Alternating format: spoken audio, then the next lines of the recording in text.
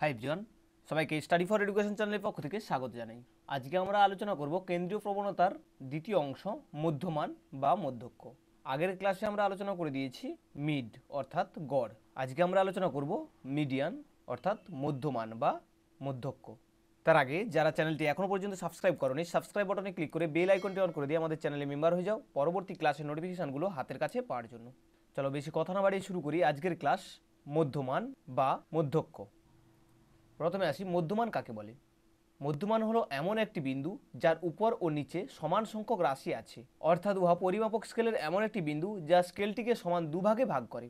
অন্যভাবে বলতে গেলে বলা যায়, মধ্যমান রাশি তথ্যমালাকে দুটি সমান অংশে ভাগ করে। একটি অংশের অন্তর্গত প্রত্যেকটি রাশির মান মধ্যমান অপেক্ষায় কম এবং অপর অংশের অন্তর্গত প্রত্যেকটি রাশিমালার মান মধ্যমানের থেকে বেশি।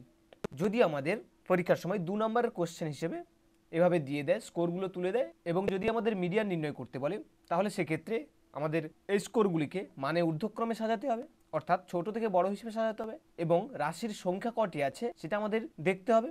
এখানে যেমন রাশির সংখ্যা দশটি আছে, তাই আমরা এন সমান দশ লিখলাম। এবং এবং মধ্যমান নির্ণয়, নির্ণয়ের ক্ষেত্রে আমাদের কোন রাশির ওপর মধ্যমান আছে সেটা জানার জন্য আমাদের n plus one by two করতে হয়।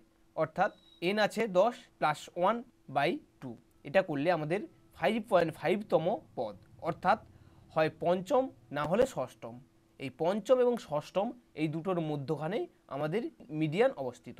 এবার এই দুটোর মধ্যখানে যেহেতু অবস্থিত, তাই আমাদের এই দুটোকে যোগ করে বাই টু অর্থাৎ দুই দিয়ে ভাগ করতে হবে। দুই দিয়ে ভাগ করলে আমাদের সিক্সটি ফাইভ পয়েন্ট ফাইভ বেরিয়েছে। এটাই হলো আমাদের মিডিয়ান এবার আমরা মিডিয়ানের সূত্রটি কি, সেটা আমরা জেনে নিই। মধ্যমানের সূত্র। মধ্যমানের সূত্র হলো এল এল এখানে এল দেওয়া আছে। অনেক সময় এল এল আমরা লিখতে পারি। কারণ এই এল অর্থাৎ লোয়ার লিমিটকে বোঝানো হয়।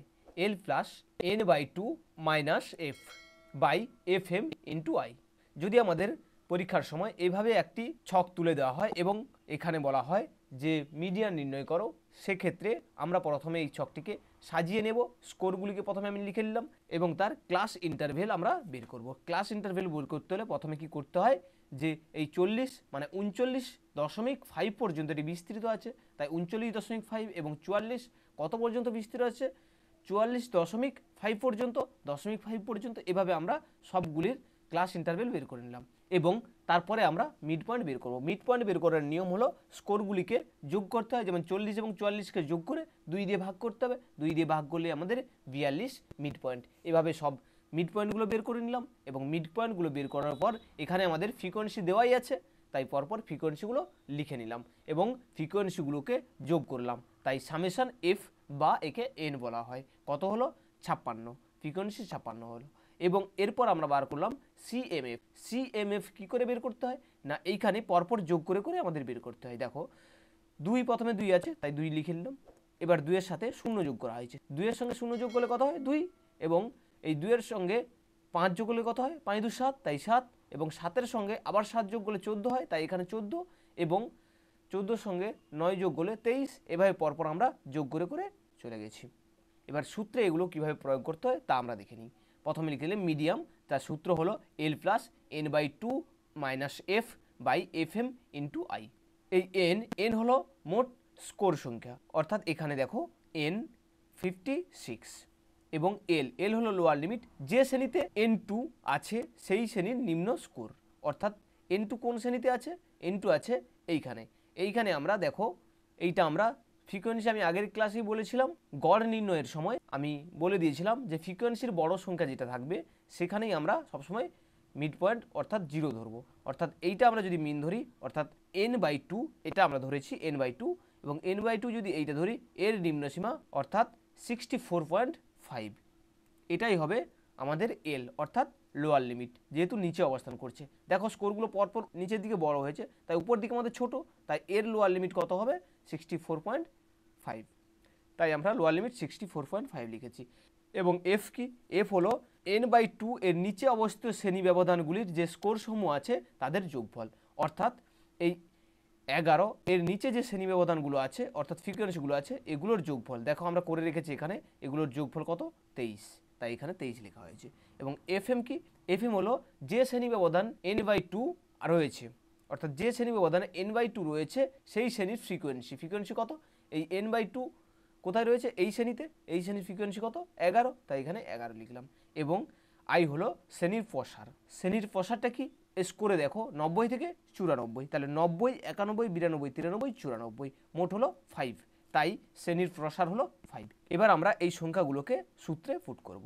সূত্রে পুট করলাম, দেখো লোয়ার লিমিট যত ছিল, এখানে পুট করেছি, এবং এই সূত্রে পুট করে আমরা যোগ বিয়োগ গুণ ভাগ করে পেয়েছি sixty six point seven seven এটাই হলো মিডিয়ান এইভাবে মিডিয়ান নির্ণয় করতে হয়। আমরা যেহেতু পরবর্তী ক্লাসে মিন মিডিয়ান মুড একসাথে নির্ণয় করা শিখব, তাই এগুলোর খুব ডিটেলসে আমরা জানছি না। আমরা জাস্ট প্রসেসটা জেনে নিচ্ছি। চলো, এরপরে আমরা দেখি মধ্যক্ষের ধর্ম। মধ্যক্ষের ধর্ম কি? প্রথমত মধ্যক্ষ রাশিমালার প্রকৃত মান দ্বারা প্রভাবিত হয় না।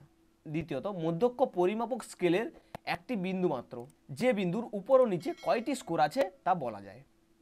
এবং তিন নম্বর, রাশিমালার প্রতিটি রাশির সঙ্গে নির্দিষ্ট সংখ্যার যোগ বা বিয়োগ বা গুণ বা ভাগ করলে মধ্যক্ষও অনুরূপভাবে পরিবর্তিত হয়। চার নম্বর, অসমাপ্ত বন্টনের মধ্যক্ষ নির্ণয় করা যায়।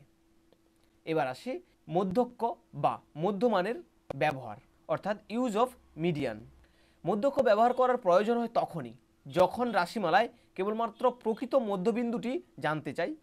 প্রান্তীয় রাশিগুলির মধ্যে বিষমতা বেশি থাকে, কেন্দ্রীয় মান আমরা অপেক্ষাকৃত তাড়াতাড়ি জানতে চাই এবং যখন বন্টনটি অসম্পূর্ণ থাকে ও গড় নির্ণয় করা সম্ভব হয় না, তখনই আমরা মধ্যমান নির্ণয় করে থাকি। এবার আমরা আসি মধ্যমানের সুবিধা। এটি সহজে নির্ণয় করা যায়। কোনো কোনো ক্ষেত্রে রাশি তথ্যমালার পর্যবেক্ষণ করেও এটি নির্ণয় করা যায়। এর মান রাশি তথ্যমালার কয়েকটি অতি উচ্চ ও অতি নিম্নমানের রাশি দ্বারা প্রভাবিত হয় না। এর মান রাশি তথ্যমালার প্রসারের উপর নির্ভর করে না। যদি শ্রেণীবিভাজনের দৈর্ঘ্য পরস্পর সমান না হয় বা প্রান্তীয় শ্রেণীবিভাগ মুক্ত থাকে, তাহলে তার দ্বারা মধ্যমানের মান প্রভাবিত হয় না। এবার আসি পাঁচ নম্বর। যে সকল তথ্য সংখ্যার সাহায্যে প্রকাশ করা যায় না, তাদের বৈশিষ্ট্যের পরিমাপ নিরূপণে মিডিয়ান ব্যবহার সুবিধাজনক, যেমন বুদ্ধি ও ব্যক্তিত্ব ইত্যাদি। এবার আসি মধ্যমানের অসুবিধা। কি কি অসুবিধা দেখা দেয়? এক নম্বর মিডিয়ান নির্ণয় করার সময় মানসমূহকে মানে ঊর্ধ্বক্রম অনুসারে সাজাতে হয়। বীজগণিতের সহজ নিয়ম এখানে প্রয়োগ করা সম্ভব নয়। অনেক সময় কঠিন মান নির্ণয় করা যায় না, আনুমানিক মান নির্ণয় করা হয়। এর মান নির্ণয়ে রাশি তত্ত্বমালার প্রত্যেকটি রাশি ব্যবহৃত হয় না। এই হলো আজকের আলোচনা। পরবর্তী ক্লাসে আমরা ভূইষ্ঠকটি আলোচনা করে দেবো। ক্লাসটি যদি ভালো লেগে থাকে তাহলে লাইক করো কমেন্ট করো এবং বন্ধুদের সাথে শেয়ার করতে ভুলো না। এবং আবার বলছি, যারা চ্যানেলটি এখনও পর্যন্ত সাবস্ক্রাইব করেন সাবস্ক্রাইব বাটনে ক্লিক করে বেল আইকনটি অন করে দিয়ে আমাদের চ্যানেলে মেম্বার হয়ে যাও। পরবর্তী ক্লাসের নোটিফিকেশনগুলো হাতের কাছে পাওয়ার জন্য। Thank you for watching my YouTube class study for education